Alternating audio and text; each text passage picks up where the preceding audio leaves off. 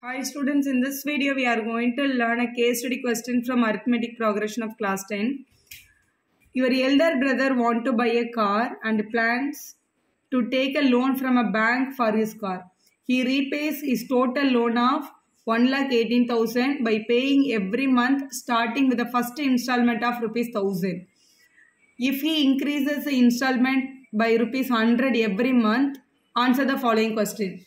So totally he pays the amount, the total amount, the repay amount is given as 1,18,000 and the first installment that should be taken as a first term of our AP, that is our A, is given as 1000.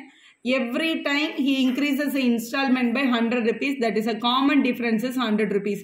That means the first, the AP is the first month he paid 1000 rupees as an installment amount. The next month he will be paying 1100. The next month he will be paying 1200. Every month he is increasing his amount. That is a given question.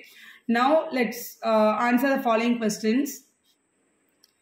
So here comes the first question.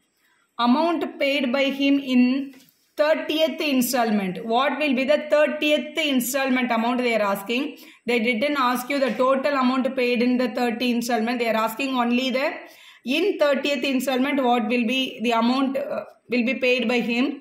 That is our first question. They are asking what is A30. 30th installment amount they are asking. So we have the basic formula that is AN. AN is equal to an is equal to a plus n minus 1 into d. This is a basic formula. Now, this is a30 is equal to a plus n value is 30. So, 30 minus 1 will give you 29d. So, this is a 30th value. Now, here a value we have given with 1000 plus 29 into d value we have given with 100. Now, this is 1000 plus 29 double zero we can write it. So let's add it. 2900 and 1000 will give you 3900. So 3900 that is given as a first option. A option is your correct.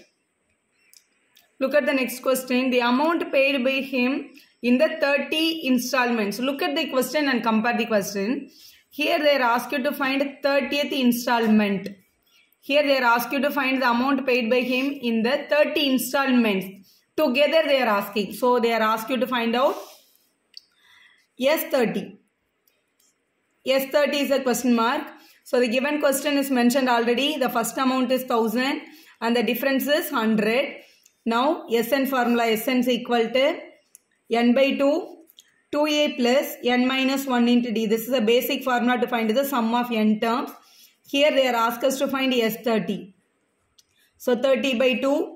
2 into A value is 1000 plus N minus 1. N is 30 here. So 30 minus 1 will give you 29. D value is 100. Now 30 and 2 will cancel by 2 table 15 times.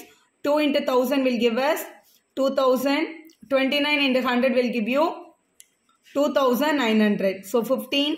29 2s are 58 sorry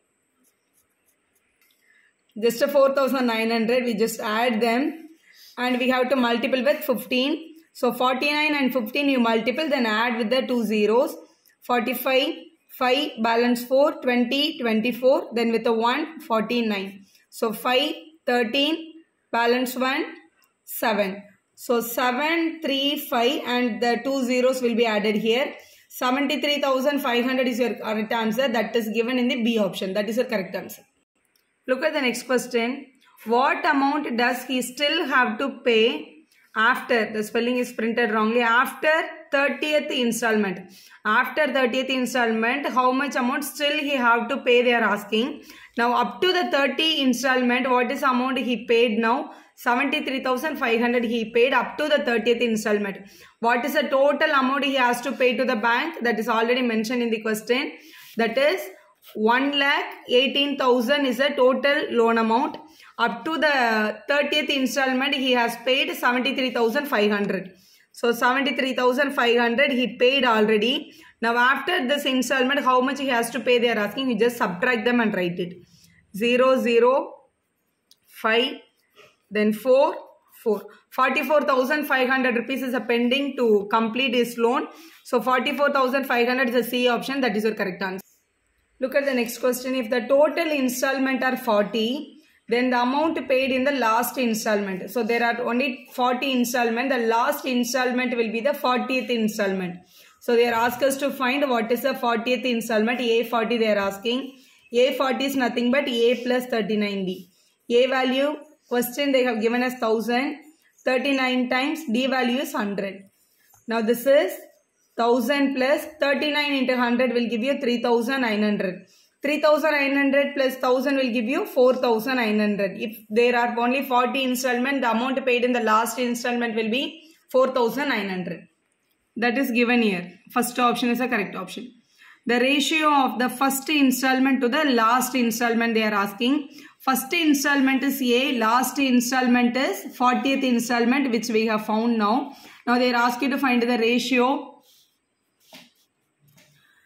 that is first ratio, first month installment A1, last month installment is A40. First installment 1000 already mentioned, 40th installment now we have found out 4900, two zeros, two zeros we can cancel. So 10 is to 49. There is no other common table so we can stop here.